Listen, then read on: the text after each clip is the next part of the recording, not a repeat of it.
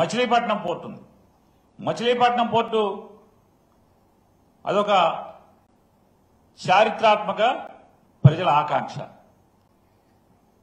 దశాబ్దాలుగా మచిలీపట్నంలో పోర్టు నిర్మాణం చేయాలి అని కృష్ణా జిల్లా వాసులందరూ కూడా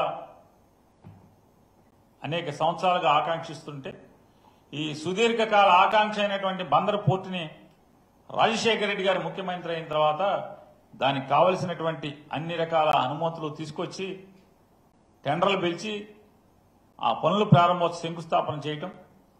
తర్వాత ఆయన మరణం అకా ఆకస్మిక మరణం రాజశేఖర రెడ్డి గారి యొక్క ఆకస్మిక మరణంతో బందర పోర్టు నిర్మాణం ఆగిపోవటం. ఆ తర్వాత జగన్ రాజశేఖర రెడ్డి గారి తర్వాత మరణం తర్వాత లేదా జగన్మోహన్ రెడ్డి గారు ముఖ్యమంత్రిగా అయ్యే ముందున్నటువంటి పాలకులందరి యొక్క దుర్మార్గపు నిర్లక్ష్యంతో బందరు పోర్టు ఎక్కడ వేసిన గొంగళి అక్కడే ఉన్న పరిస్థితిలో ఉంటే వాళ్ళ జగన్మోహన్ రెడ్డి గారు ముఖ్యమంత్రి అయిన తర్వాత చంద్రబాబు నాయుడు గారిని ఎన్నికల్లో చెప్పాడు నేను బందరుకి షిప్ తెస్తాను ఆరు మాసాల్లో పోర్టు కడతానని చెప్పాడు. ఆరు మాసాల తంగ సంగతి దేవుడెరుగు. ఇరవై రెండు గ్రామాలు ఖాళీ చేసి ముప్పై మూడు వేల ఎకరాలు పొలం రైతుల పొలం లాక్కునే ప్రయత్నం చేసిన పరిస్థితి. చివరికి ప్రజలు పోరాటం చేయాలి తిరగబడి పోరాటం చేయాల్సిన పరిస్థితి. పోర్టు కట్టకపోగా అంటే అసలుకే అసలు పెడితే మొత్తం అందరు ఆస్తులు లాక్కుంటే మాకు పోర్టు వద్దులే అని చెప్పని అంటారని అనుకున్నాడా? లేదా ప్రజల ఆస్తిని దోచుకుందాం అనుకున్నారా? ఇరవై రెండు గ్రామాలు ఖాళీ చేసి ముప్పై మూడు వేల ఎకరాలు ఇవ్వాలని చెప్పని ఇవన్నీ కూడా బలవంతపు భూసేకరణ కింద రెండు వేల పదిహేను ఆగస్టు ముప్పై ఒకటో తారీఖున అర్ధరాత్రి నోటిఫికేషన్లు ఇచ్చిన పరిస్థితుల్లో అక్కడి నుంచి దాన్ని మూలపడేస్తే జగన్మోహన్ రెడ్డి గారు వచ్చి బందర్ పోర్టు నిర్మాణానికి ఐదు వేల నూట యాభై ఆరు కోట్ల రూపాయలతో బందరపోర్టు నిర్మాణాన్ని ప్రారంభించి ఇప్పటికీ యాభై శాతం పోర్టు పనులు బ్రేక్ వాటర్స్ పూర్తయినాయి. బెర్తుల నిర్మాణం శరవేగంగా జరుగుతుంది. అలాగే డ్రెడ్జింగ్ వర్క్ జరుగుతుంది. ఇన్ని జరుగుతుంటే దాదాపుగా నలభై ఐదు యాభై శాతం పనులు పూర్తయితే దాని నిర్మాణాలు ఎక్కడెక్కడ ఆపేసిన పరిస్థితి. అలాగే అత్యంత వెనుకబాటుతనం కలిగినటువంటి ఆర్థికంగా అత్యంత వెలుగుబాటుతనం కలిగినటువంటి శ్రీకాకుళం జిల్లాలో మూలపేట అనే ప్రాంతంలో పోర్ట్ నిర్మాణం ఆ పోర్ట్ జగన్మోహన్ రెడ్డి గారు ప్రారంభించారు.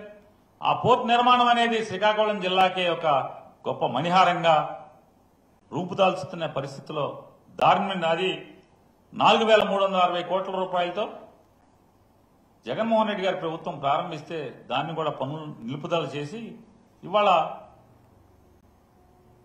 చంద్రబాబు నాయుడు ప్రభుత్వం కూటమి ప్రభుత్వం ఏం చేస్తున్నాయంటే జగన్మోహన్ రెడ్డి గారు సృష్టించినటువంటి సంపద మొత్తాన్ని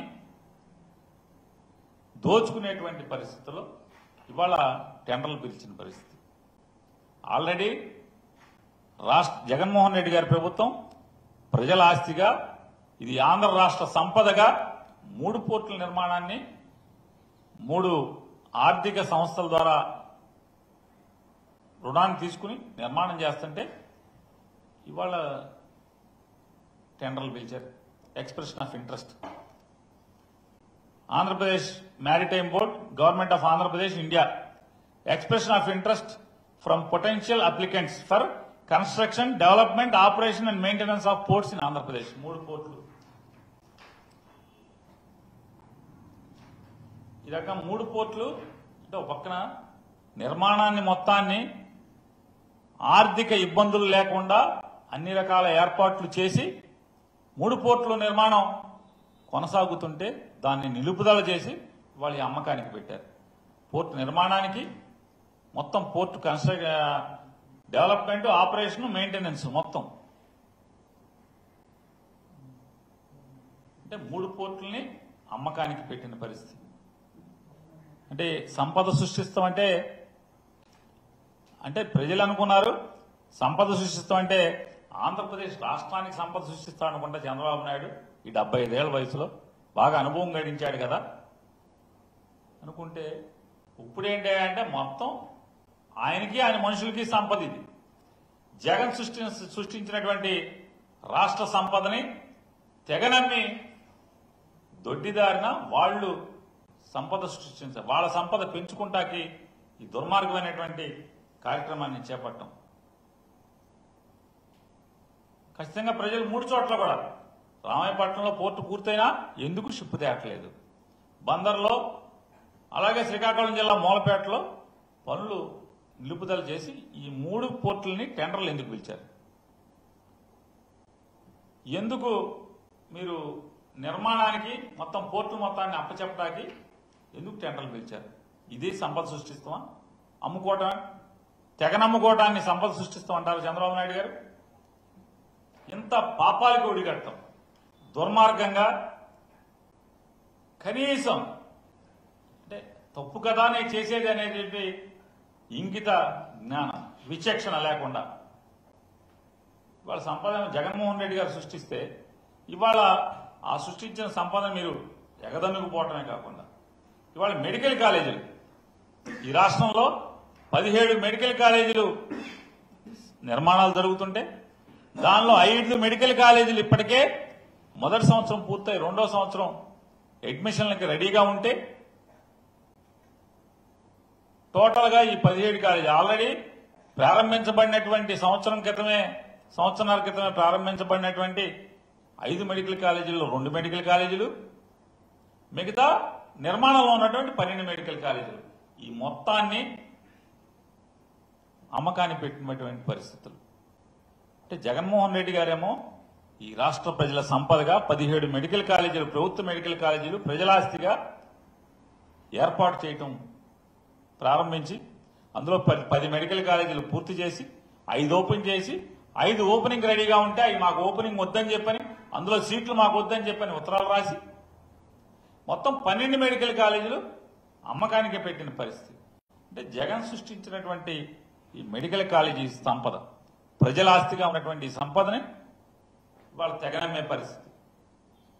ఇదా సంపద సృష్టిస్తాం అంటే తెగనమ్మటం ఈ తెగ నమ్మటం అనేది అంటే ప్రజలకు కూడా మనందరికీ పాతపడిపోయినటువంటి మాట వలన గుర్తు రాలేదేమో కానీ ప్రజల ఆస్తులను నమ్మటంలో చంద్రబాబు నాయుడు అంత పనోడు ఇంకో మనకి ఎవడు దొరకడు. చంద్రబాబు నాయుడు ఎన్టీ రామారావు గారిని వెన్నుపోటు పొడిచి ఎన్టీ రామారావు గారిని వెన్నుపోటు పొడిచి ఆ అధికారాన్ని లోక్- లాక్కున్న తర్వాత కూడా ఈ రాష్ట్రం అంటే ఆంధ్ర అవిభాజ్య అంటే కంబైన్డ్ ఆంధ్రప్రదేశ్ స్టేట్లో యాభై ఆరు ప్ర- ప్రజల ఆస్తుల్ని అమ్మేసి తెగనమ్మిన పరిస్థితి. అవి షుగర్ ఫ్యాక్టరీలు అవనండి. లేదా వివిధ రకాల పరిశ్రమలు అవనండి. ఆస్తులు అవనండి. పరిశ్రమలు మాత్రమే యాభై ఆరు పరిశ్రమలు అమ్మకానికి పెట్టిన పరిస్థితి. నిన్నగాక మొన్న నిన్న అనుకుంటా పేపర్లో అడ్వర్టైజ్మెంట్ వచ్చింది. విశాఖపట్నంలో ఆస్తుల అమ్మకం భూముల అమ్మకం ఈనాడు రాయదు జ్యోతి రాయదు. సంపద సృష్టిస్తా అన్నావు కదా ఆస్తులు అమ్ముతున్నావేంటయా అని ఒక్కడ మాట్లాడు అంటే ఈ రాష్ట్రంలో ఉన్నటువంటి అన్ని ఎక్కడెక్కడ అమ్మటానికి అవకాశం ఉన్నదో అన్ని ఆస్తుల్ని కూడా అమ్ముతున్నటువంటి పరిస్థితులు ఇవాళ ఆంధ్రప్రదేశ్ రాష్ట్రంలో కనపడుతున్నాయి. ఏది కూడా నేను అసత్యమో రాజకీయంగానో రాజకీయ ఆరోపణలో కాదు అన్నిటికీ రికార్డ్ ఎవిడెన్స్ నిన్న పేపర్లో అడ్వర్టైజ్మెంట్ పిలిచారు. ఆస్తుల అమ్మకానికి వేలం వేస్తున్నాం రండి రండి అని చెప్పని. అంటే రాష్ట్ర ప్రభుత్వం యొక్క ఆస్తుల్ని రాష్ట్ర ప్రజల సంపదని దొడ్డిదారిన వారి వందిమాగదలకు వారికి పార్టీకి ఫండ్లు ఇచ్చిన వాళ్ళక లేదా వారికైనా ఎవరికి దీన్ని కట్టపెట్టే ప్రయత్నం చేస్తున్నారు? సంపద సృష్టిస్తా ఉన్నారు కదా.